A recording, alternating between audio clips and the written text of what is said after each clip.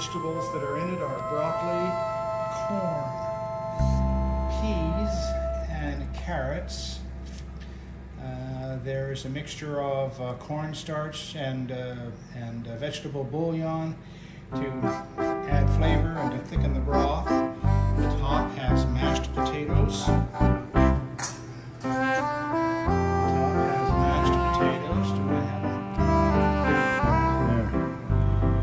Top is mashed potatoes and cheddar cheese, marble cheddar cheese.